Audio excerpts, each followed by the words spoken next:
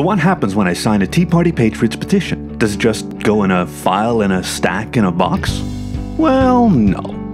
A Tea Party Patriots petition is actually one of the most effective means we have to make sure that our lawmakers hear the voices of we the people. Government offices and lawmakers use lots of different systems to accept messages and comments from citizens, but which form of communication is best for me? At Tea Party Patriots, we design each petition so that your signatures and comments are sent to the offices that need to hear your voices and can't be ignored. We ensure there's no missing information or duplicates, and that each of them is submitted in the correct way that office requires. Since we launched our petition engine in 2014, we created dozens of petitions that were sent to the White House and Congress, totaling over a million signatures, supporting initiatives to improve our country's future and highlighting policies and people that just aren't getting the job done. And sometimes the old ways are the best.